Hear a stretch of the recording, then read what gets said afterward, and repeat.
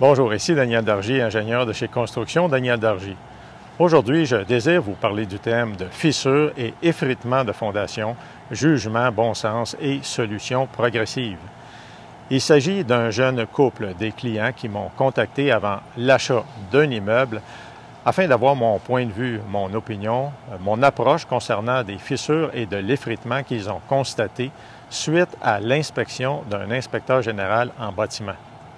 Mes clients, futurs acheteurs potentiels, sont inquiets car ils se sont fait dire qu'il est peut-être nécessaire d'excaver, d'installer un drain, une membrane, de pieuter ou même, à la limite, de soulever la maison et de refaire toute la fondation. Est-ce vraiment nécessaire? Quand et comment aborder la situation? Approchons-nous pour faire quelques observations euh, pour constater la situation. Donc, approchons-nous sur le côté pour euh, voir les fissures et l'effritement. Donc, on voit tout de suite ici un gros trou, une fissure importante euh, avec de l'effritement.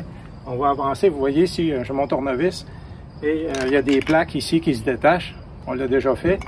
Et on, enfonce le tournevis assez profondément. Après, on, frappe du, du, solide. Donc, c'est à peu près à peu près 3 à 4 pouces. Mais par contre, si on va ailleurs, aux autres endroits, on n'en trouve pas. Donc, c'est vraiment localisé. Aussi, si on avance par là-bas, toujours au niveau du sol, là, il faut le mentionner. Euh, c'est pas ici plus haut, c'est au niveau du sol, là, où c'est qu'il y a le gel et l'eau, la glace et tout ça. Aussi, euh, on donne sûrement des coups de pelle l'hiver pour euh, nettoyer ou mettre du sel. Donc ici, là, vous voyez, ça s'est euh, ouvert. Donc, on rentre encore le tournevis à l'intérieur, mais après, on, atteint le, solide. C'est pas euh, nécessairement toute la fondation, donc il faut faire attention là, avant de conclure que c'est toute la fondation qu'il faut changer.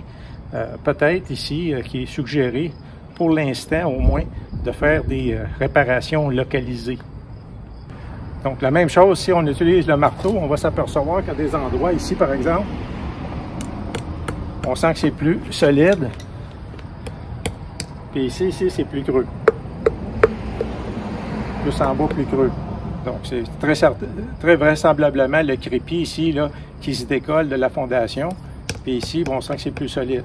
Donc c'est sûr que je ne donnerai pas des gros coups de marteau pour tout désagréger la fondation, mais on voit bien ici la même chose. Ici, là, on voit qu'il y a une réparation qui a été faite. Puis ici aussi, on voit que c'est plus solide. Donc c'est sûr, là, quand on fait des tests comme ça, on ne s'amuse pas là, à donner des gros coups de marteau pour essayer de désagréger toute la fondation. Parce que le rôle principal de la, fondation, c'est de soutenir la maison. C'est pas de recevoir des coups de marteau sur le côté. Mais malgré, avec le tournevis puis le marteau, bien, on, voit là jusqu'à quel point la fondation est endommagée. Et à partir de là, on peut faire des recommandations si euh, on repart localement, comme il semble être le cas ici. À certains endroits, c'est local. Là-bas, c'était quand même assez bien. J'ai donné des coups de marteau et poussé avec le tournevis, ça ne rentre pas. Et puis ici, à l'arrière, il y a quelques endroits aussi à réparer. Donc, avant d'affirmer qu'il faut tout défaire la fondation ou encore faire des travaux importants d'excavation, de drain et tout, le reste, bien, il faut quand même justifier ça parce que les coûts viennent aussi en conséquence. Et aussi, si on vient qu'à excaver tout le tour de la fondation, il y a des très fortes chances qu'on va l'endommager, la fondation, en faisant des travaux. Donc, on a regardé ici à l'avant au niveau du stationnement, près de la fondation. Et si on regarde ici un petit peu plus à l'arrière, en dessous du balcon, on va trouver d'autres fissures. Donc ici aussi, si on regarde avec le tournevis, on s'aperçoit, s'aperçoit qu'on ne voit pas le fond. Donc ici, là, dans ce coin-ci, aller jusque là-bas. Ici, c'est correct, mais vers le coin ici, ça commence à être plus endommagé. Mais encore là, il y a une différence entre conseiller de changer toute une fondation puis de réparer un endroit localisé.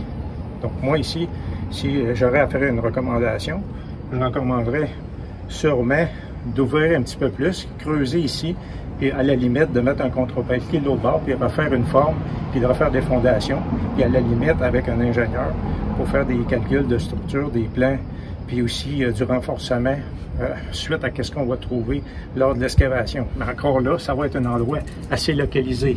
En avant, c'est en Monata. jusqu'au stationnement. Puis ici, ben, ce serait une petite réparation à faire.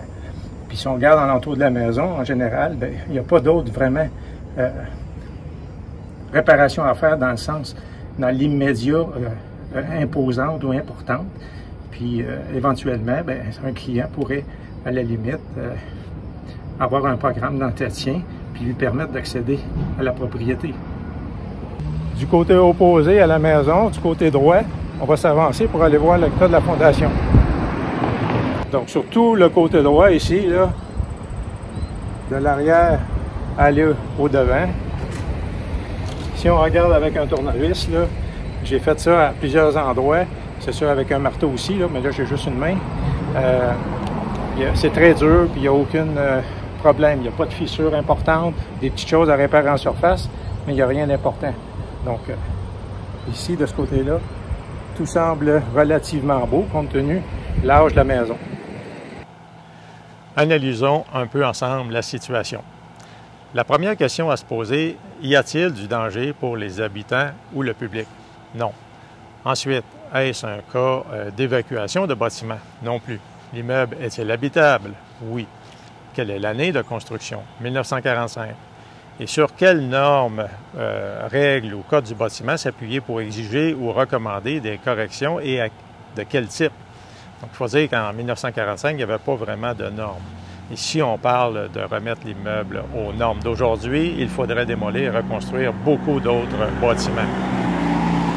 Depuis quand y a-t-il ces déficiences d'effritement et de fissures? Selon le vendeur, depuis qu'il est propriétaire, depuis plusieurs années. Euh, y a-t-il déjà eu dans le passé des infiltrations? Y en a-t-il actuellement? Non.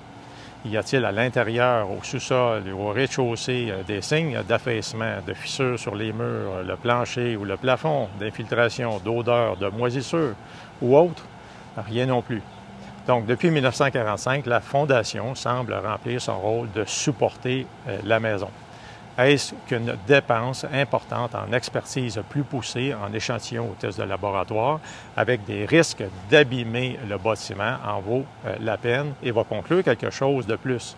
Probablement pas.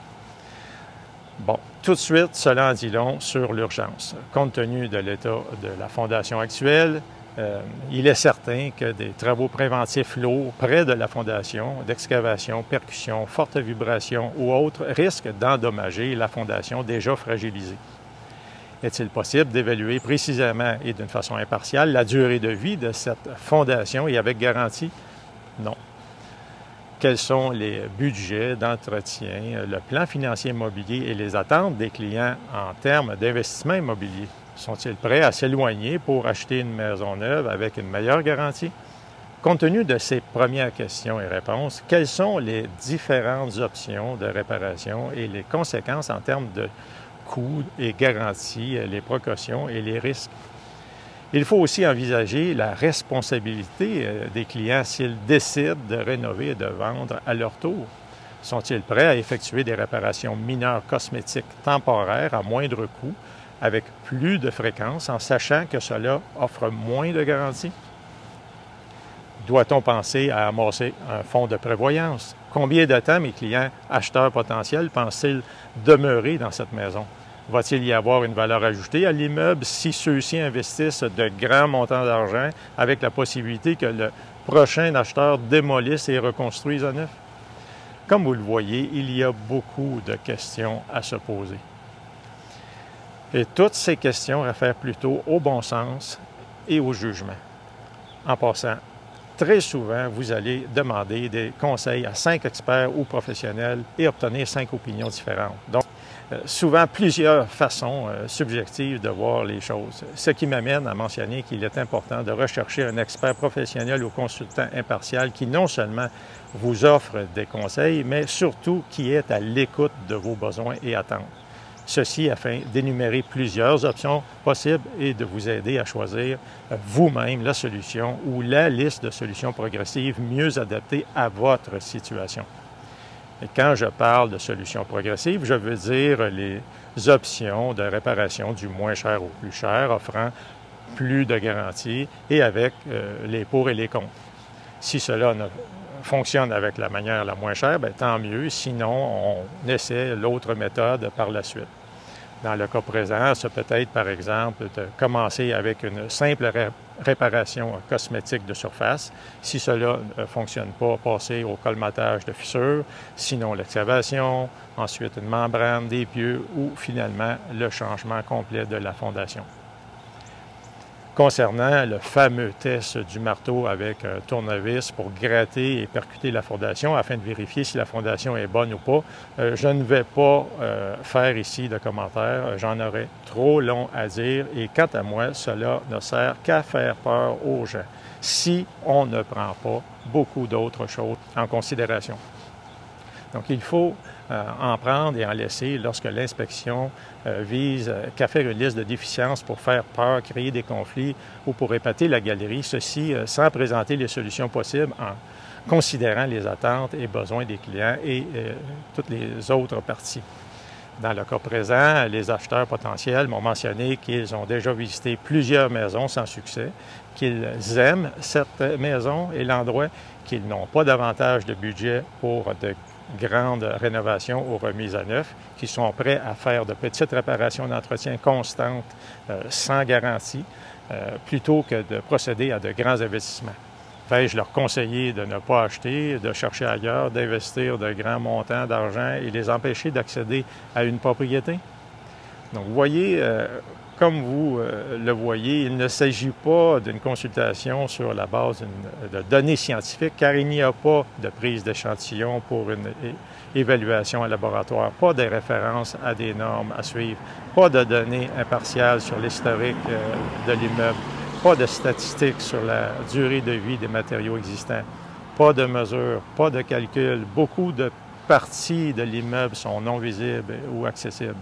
Donc la réflexion se base plus sur euh, l'observation, l'expérience, le bon sens, l'écoute, une approche impartiale avec euh, l'analyse d'une stratégie d'investissement plutôt que sur des faits scientifiques quantifiables, mesurables et des normes ou règles à suivre, qui ou bien euh, n'existent pas ou sont des études trop coûteuses et n'amèneraient rien de plus concrètement. Donc, faites attention quand une telle situation, euh, dans une telle situation, en ayant de hautes attentes, en cherchant à obtenir des garanties, en vous en remettant à un ingénieur ou autre professionnel afin de vous faire une opinion et de prendre une décision. C'est comme demander à un médecin d'évaluer votre état de santé en vous regardant euh, dans les yeux, sans faire de tests, sans presque rien voir, sans livre de référence, en sachant, compte tenu d'un âge avancé, qu'il y a de hauts risques de procéder à une opération. Posez-vous des questions sur la pertinence d'accorder un mandat, de la crédibilité et votre confiance à quelqu'un seulement sur la base d'un diplôme ou d'un titre et en oubliant les limitations de l'inspection, le bon sens, l'expérience, l'impartialité, le jugement et l'esprit d'écoute. Vous savez, l'honnêteté, le bon sens, le respect humain, l'esprit d'écoute, le jugement, l'impartialité, l'expérience ne s'apprennent pas à l'école ou ne se déterminent pas par des lois, des règles, des diplômes, une licence ou un titre professionnel. Donc, que ce soit un problème d'effritement, d'efflorescence, de fissure, d'infiltration, d'affaissement, d'isolation ou autre, l'approche conseil mérite d'avoir un regard général impartial, une philosophie d'analyse globale axée sur l'humain et l'écoute, en considérant beaucoup d'autres aspects euh, que simplement les déficiences. J'ai voulu ainsi amener un regard nouveau sur l'inspection en bâtiment par un esprit, une prise de conscience, une culture, une approche et une réflexion différente. Ceci a été ma présentation sur le thème de fissures et effritement de fondation, jugement, bon sens et solutions progressives. N'hésitez pas à me contacter pour une réflexion et des conseils avant l'achat ou la vente d'un immeuble comme guide impartial en construction et rénovation ou pour la gestion de projet. Merci et à la prochaine.